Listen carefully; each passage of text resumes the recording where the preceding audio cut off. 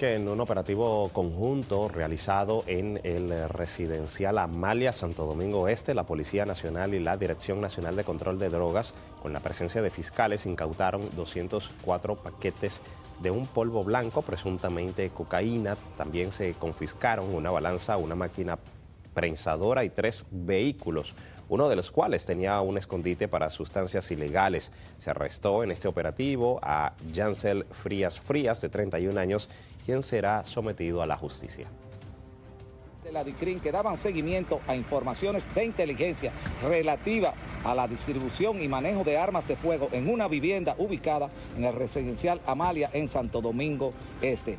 Producto de esta intervención realizada en la calle Cuarta, en la casa número 2, fueron hallados 204 paquetes de un polvo blanco que se presume es cocaína, una balanza, una máquina prensadora y tres vehículos.